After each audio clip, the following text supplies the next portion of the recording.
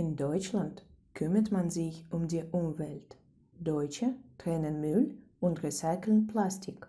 Und damit die Bürger die Plastikflaschen zum Recyceln abgeben, gibt es in Deutschland Flaschenpfand. Wenn man eine Cola oder Mineralwasser kauft, muss man 25 Cent extra zahlen. Das ist Pfand. Aber wenn Sie diese Flasche zurück ins Geschäft bringen und in den speziellen Automaten reinlegen, bekommen Sie das Geld zurück.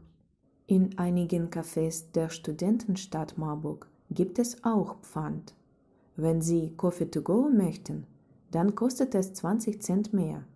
Um Kaffee im Inneren des Cafés zu trinken, muss man in solchen Cafés ein Euro extra zahlen.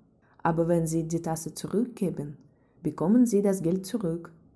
So schützen Sie die Kaffeebesitzer vor dem möglichen Diebstahl.